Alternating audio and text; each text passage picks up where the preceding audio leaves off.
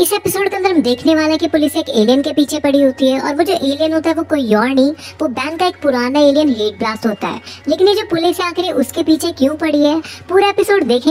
Episode की शुरुआत में वो जो एलियन होता है वो पुलिस से बच के भाग रहा होता है, लेकिन एकदम से उसके सामने एक पुतला आ जाता है, जिसमें वो टकरा के नीचे गिर जाता है।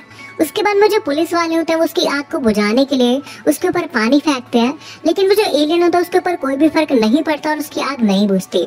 उसके बाद में इन लोगों के ऊपर फायर करता है और वो कहता है कि तुम लोग मेरे पीछे क्यों पड़े हो? आखिर मैंने ऐसा किया ही क्या है? इतने में पुलिस वाला उसे अपनी कार से ठोक देता है और वो दूर जाके गिरता है। नीचे गिरने के बाद में वो बेहोश हो जाता है और वो अपने इंसानी शरीर में वापस आ जाता है। ये सारे के सारे उसे पकड़ लेते हैं और उसे एक बर्फीली जगह पे रख देते हैं और वहाँ पे उससे पूछता है कि तुम्हारा प्लान क्या है? वो बताओ। क्योंकि तुम सारे के सारे जो खेत है, वहाँ पे आग लगा के कोई चीज़ बना रहे हो और हमें बताओ तुम आगे क्या करने वाले हो। इतने में जो पुलिस वाला होता है, वो उसका प्लम्बर बैज ले लेता है और वो कहता है कि बताओ मुझे क्या चीज़ है। वो कहता है मेरे पापा ने दिया और उसे मुझे वापस कर दो। उसके बाद वो पुलिस वाला कहता है कि जब तक इसकी कोर्ट में सुनवाई नहीं होती, इसे यहीं पे कैद रखना। इधर हम देखते हैं बैन और कैविन को, जो कि घर पे जा रहे होते हैं। बैन कहता है, तुम इतनी आराम से गाड़ी क्यों चला रहे हो? कैविन कहते तुमने साइन बोर्ड नहीं पढ़ा क्या? उसके बाद में बैन कहता है कि अगर तुम इतनी आराम से गाड़ी चलाओगे तो मैं घर जाने में आज फिर से लेट हो जाऊँगा और माँ मुझे फिर से सुनाएगी। केविन कहता है अच्छा ही है। उसके बाद तुम्हारी मम तुम्हें घर से बाहर निकलने नहीं देगी और मैं और ग्वेन आराम से घूम पाएँगे। काफ़ी ज़्यादा मज़ा आएगा। ग्वेन कहती है तुम्हें ऐसा क्यों लगता है कि मैं तुम्हारे साथ जाऊँगी? केविन कहता है मैं इतना हैंडसम जो उसके बाद में ग्वेन कहती है, लो, मिस्टर हैंडसम का फ़ोन बज रहा है। उसके बाद में ग्वेन जैसे ही देखती है तो उसका प्लमर बैच होता है, जिसके अंदर कुछ सिग्नल आ रहे होते हैं और एकदम से उसके अंदर एक मैप निकल जाता है। और वो जो मैप होता है, उसके अंदर एक लाल कलर की लोकेशन दिखा रही होती है। बैन कहता है, शायद से ग्रैंड मैक्स का कोई मैसेज है और हमें वहाँ जाके देखना चाहिए। इधर हम देखते हैं, उस एलियन को जो कि वहाँ से निकलने की कोशिश कर रहा होता है, उसके बाद में अपनी हथकड़ियों के ऊपर थूक देता है, जिससे वो पिघल जाती है। वो जेल से बाहर निकल जाता है और वापस से अपने अंदर आग लगा लेता है और वो दीवार को पिघला के वहाँ से चला जाता है।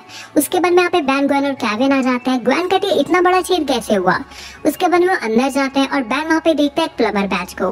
बैन जाके उस प्लमर बैच को उठा लेता है और वो कहता है, शायद से ग्रैंडपा मैक्स का होगा। और ग्रैंडपा मैक्स उसी एलियन के पीछे गए होंगे जिसने दीवार को जलाया है। इधर हम देखते हैं, वो जो एलियन होता है, वो पुलिस वालों से बच रहा होता है, लेकिन एकदम से पुलिस वाले उसके सामने आ जाते हैं। वो उसके ऊपर फायर करने वाले होते हैं, लेकिन वो एकदम से उनकी गन को पिघला देता है और वो सारे के सारे उसके ऊपर हमला करने ही वाले होते हैं। लेकिन वो एक बहुत बड़ा ब्लास्ट करके सभी लोगों को वहाँ से भगा देता है। उसके बाद हम नेक्स्ट सीन में देखते हैं, वो कहता है कि मेरा ऐसा कोई इरादा नहीं था और वो कहता है, आप ठीक तो है, इतने में पीछे से ग्वैन आ जाती है और वो उसे पकड़ लेती है। और यहाँ पे कैविन कहता है, ये तो तुम्हारे पुराने हीट ब्लास्ट जैसा लग रहा है और क्या मैं इसे भी पीटू जैसे मैं तुम्हें पीटा करता था? इतने में जो बैन होता है, वो जैटरी के अंदर ट्रांसफॉर्म हो जाता है और वो जो हीट ब्लास्ट होता है, वो जैटरी के ऊपर फायर करने लग जाता है। यहाँ पे बैन उससे बच के यहाँ पे हीट ब्लास्ट को पकड़ लेता है, लेकिन यहाँ पे जो हीट ब्लास्ट होता है, वो वापस बैन के ऊपर ही हमला करके इतने में वहाँ से निकल जाता है।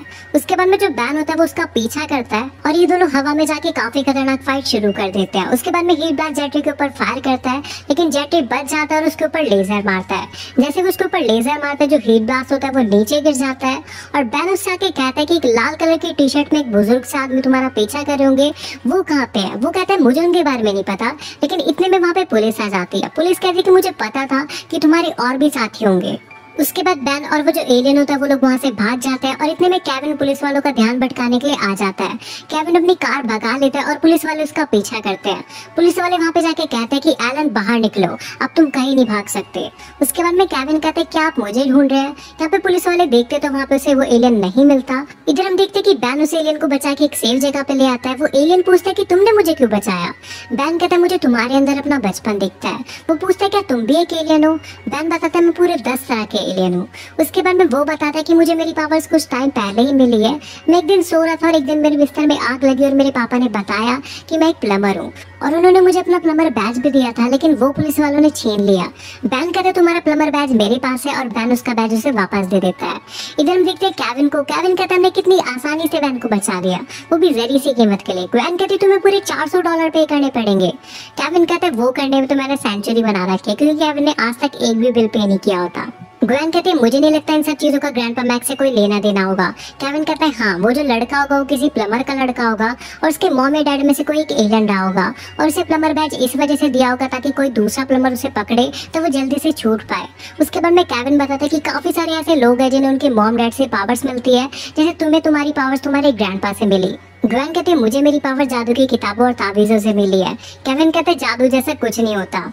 उसके बाद में सारे के सारे बैन के पास पहुँचते हैं और केविन कहते है, ये जोकर कौन है? उसके बाद में अपने असली रूप में आ जाता है। उसके बाद में जो बैन होता है, वो बताता है कि मैंने ऊपर से कुछ ऐसा देखा। उसके बाद में ग्वैन कहते हैं, ये तो कुछ सर्किट जैसा लग रहा है। ये सारे जब ऊपर जाके देखते हैं तो वहाँ पे सच में एक सर्किट सा होता है और वहाँ पे एक जगह पे रोशनी जल रही होती है।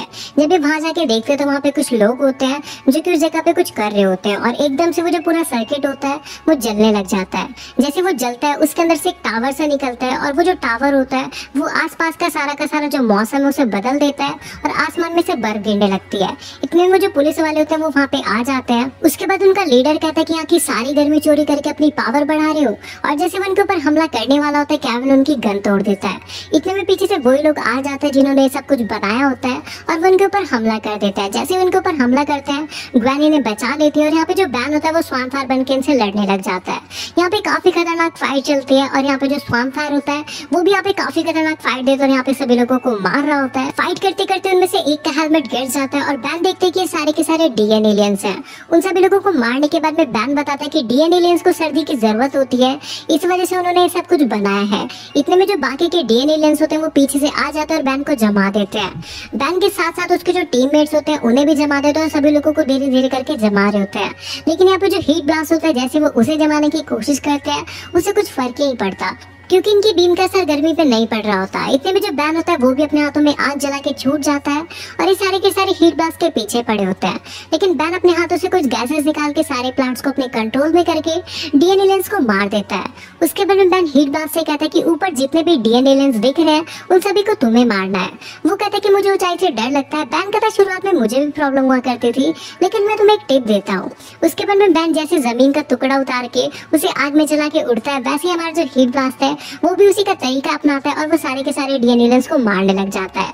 यहाँ पे बैन कहता है कि बहुत अच्छे, उसके बाद में जो बैन होता है, वो नीचे से जाके वो जो खंबा सा होता है, जो पूरा का पूरा वेदर चेंज कर रहा होता है बैन जाके उसे धक्का देने लगता है। उसके बाद में जो बैन होता है, वो उसे उखाड़ के नीचे गिरा देता है। जैसे वो उसे नीचे गिराता है, सारा का सारा जो वेदर होता है, वो ठीक हो जाता है। उसके बाद वो जो हीट ब्लास्ट होता है, वो अपनी गर्मी से सभी लोगों को ठीक कर देता है और बैन कहता है कि यहाँ पे सभी डीएन एलियंस को मार के वेदर को ठीक करके और आप सभी लोगों की जान एलन नहीं बचाई है। कैविन कहते हैं, हमने भी तो मदद करी थी। बैन कहता है, बिल्कुल थोड़ी सी। यहाँ पे सभी के सभी लोग मूर्ति बने हुए होते हैं। इस वजह से बैन सारा का सारा क्रेडिट एलन को दे देता है। उसके बाद में बैन पूछता है, क्या तुम हमारी टीम में आना पसंद करोगे? लेकिन यहाँ पे वो जो पुलिस वाला होता है, वो कहता है, अभी तो इसे हमारे साथ मिलके काफ़ी सारे और एलियंस को पकड़वाना है। एलन कहता है कि जब भी तुम्हें मेरी मदद की ज़रूरत हो, तब तुम मुझे बुला सकते हो। और ये एपिसोड यहीं पे खत्म हो जाता है।